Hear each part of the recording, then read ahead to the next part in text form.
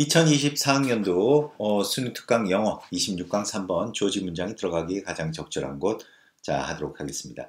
이렇게 문장 넣기 문제는 기본적으로 우리가 순서 문제 대비는 해야 되겠지. 그래서 순서 문제 뭐 아주 추천하지는 않은데 그래도 나름대로 순서 단서가 있으니까 그런 부분들 선생님이 파란색으로 표시를 했습니다. 일단 미리 내신 공부니까 들어갈 곳은 바로 5번이다. 자, 5번인데 이 단락의 전체적인 단락 구조를 얘기를 하면 어, 사실 첫 번째 이 주어진 이 첫 번째 문장들 있잖아. 이 부분이 이제 main idea야. main. 자, 이 main을 던졌고 그 다음에 아래쪽에서 그거에 대한 이제 구체적인 진술 펼쳐지고 있고 제일 아래쪽에 선생님이 또 핑크색 박스 표시를 했는데 이 부분은 부연이야, 부연.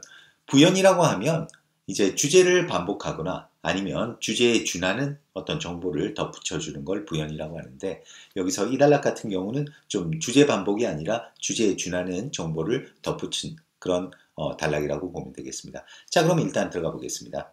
자 피아제에 따르면 조직하기, 그 다음에 동화하기, 조절하기는 can be viewed, 보여질 수 있습니다. 뭐로써? 일종의 복잡한 어떤 균형 잡기 활동으로서 보여질 수 있다는 거야.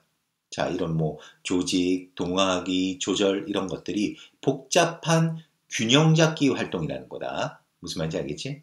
그래서 그의 이론에서 그 실제적인 변화, 사고에 있어서의 실제적인 변화는 그러니까 사고 방식에 있어서의 어떤 실제적인 변화가 발생합니다. 뭐를 통해서?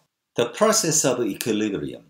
그러니까 평형 과정을 통해서 평형 과정을 통해서 사고 방식에 있어서의 실제적인 변화가 일어나는데 자 그런데 이 평형 과정이 바로 무엇이냐? 그게 균형을 찾는 어떤 행동이라는 거야. 자 균형을 찾는 행동이 뭐다? 그게 바로 평형 과정이라는 거지. 이러한 균형을 찾는 행동을 통해서 뭐가 일어난다?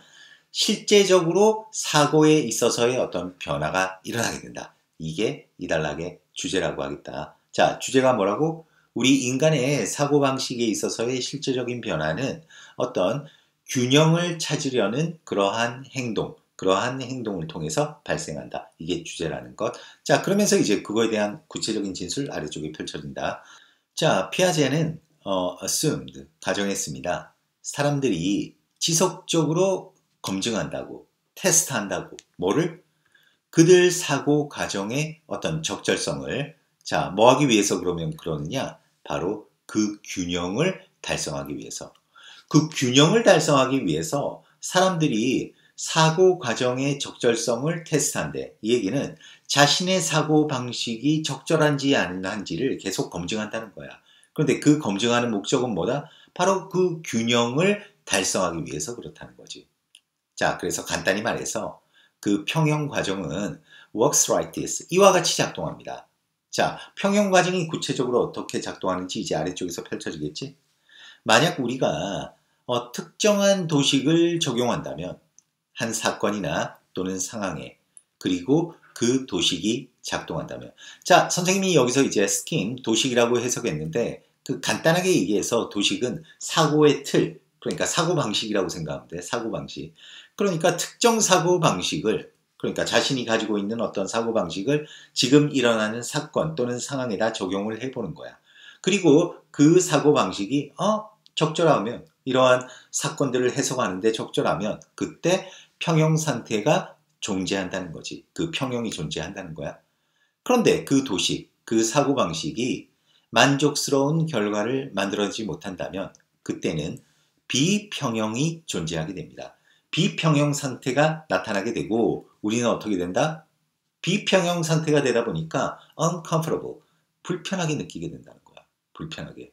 그러니까 이 말은 무슨 얘기냐면 야 지금 예를 들어서 아프리카 완전 원주민 어? 문명과 담쌓은 그런 원주민이 지금 막 AI가 발달하는 이런 세상에 와봐.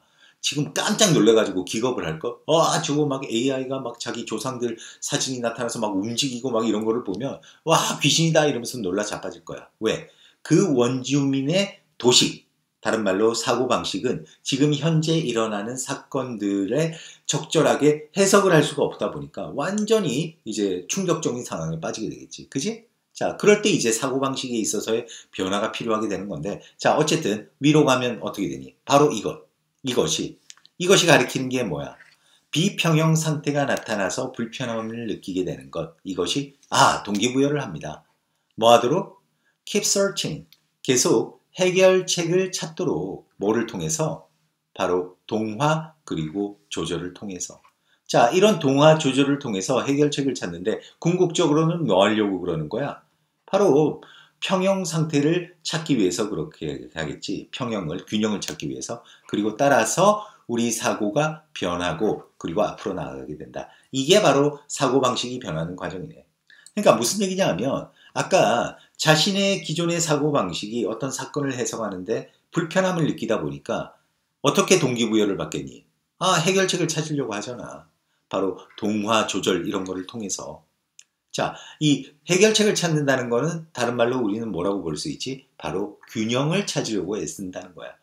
균형을 찾도록 이제 동기부여를 한다는 거야. 그런 과정에서 뭐가 일어난다? 우리 사고가 변하게 되고 그리고 앞으로 나가게 된다는 거. 알겠지? 자, 이게 이제 구체적인 진술이 여기서 이제 끝나고 아래쪽에는 이제 부연이 붙는 거야. 뭔가 주제에 주는 정보. 무슨 얘기하는지 한번 살펴보자. 물론 그 비평형의 수준은 must be just right. 딱 적당하거나 또는 최적 상태가 되어야 합니다. 자, 그러니까 비평형 상태 수준이 좀 적절해야 된대. 이 말은 무슨 말이냐? too little, 너무 적으면 우리는 변화하는 것에 관심이 없습니다. 자, 그리고 너무 많으면 we may be discouraged. 우리는 낙담하거나 불안하게 되어서 그래서 변하지 않습니다. 이렇게 된다는 거지. 자, 이건 무슨 얘기냐면 어떤 비평형 상태, 그 얘기는 우리가 불편함을 느끼는 수준이 뭐 조금밖에 안 돼. 어, 그러면 뭐 굳이 뭐 변할 필요가 없잖아. 그지? 그러다 보니까 우리의 사고방식이 안 바뀐다는 거야. 그런데 너무나 그 비평형 상태가 어, 너무나 이제 수준이 너무나 커. 그러니까 아까 이제 아프리카 원주민이 지금 오늘날의 세상을 보고 놀라는 그런 수준이다 치자. 그러면 자기의 사고방식을 바꾸려고 하는 게 아니라 놀라가지고 지 동네로 다시 돌아가 버리겠지. 그지? 자, 그렇게, 아니, 놀라가지고 변하지 않게 된다. 바로 그 얘기를 부연해서 하고 있다고 하겠습니다. 자, 그래서 뭐, 이 단락, 뭐, 내용은 너희가 충분히 잘 잡았을 거라고 생각하는데, 우리 내신 공부니까 변형 문제로 추천한다 그러면, 어, 빈칸 문제, 어, 충분히 나올 수 있습니다. 예를 들어서 이 부분, 주제라고 했던 부분이 있잖아. 실제적인 사고방식에 있어서의 변화가 발생한다. 그러니까 평형 과정을 통해서 이 얘기는 어떤 균형을 찾으려는 행위를 통해서 이런 부분, 이런 부분도 괜찮고 그 다음에 이제 주어진 문장 있잖아.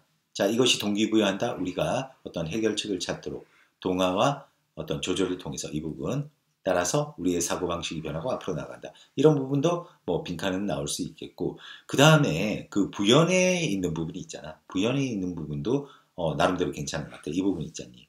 그러니까 비평형 수준은 딱 적당해야 된다. 그리고 딱 최적의 상태가 되어야 한다. 너무 적거나 너무 과도하면 안 된다. 이 부분, 이 부분도 빈칸은 괜찮다고 하겠습니다. 그리고 우리가 뭐 순서 문제 나온다 그러면 이 단서가 되는 게 바로 그 균형 위에서 언급했잖아. 이 균형이 나왔으니까 이 균형 이 부분 그 다음에 이 도식 scheme 위에서 이제 scheme이 나왔잖니. 그래서 scheme 그 다음에 위에 주어진 this가 가리키는 것은 바로 앞문장 이런 부분들을 이용한 순서 문제 또 대비 잘했으면 좋겠습니다. 자 그러면 3번 어, 여기서 마무리하도록 하겠습니다. 수고했습니다.